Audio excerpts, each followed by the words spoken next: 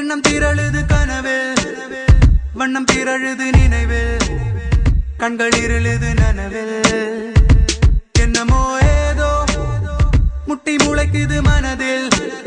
வெட்டி எறிந்திடும் நொடியில் ராகம் தொலைக்காட்சி நேர்கள் அனைவருக்கும் என்னுடைய நல்வாழ்த்துக்கள்.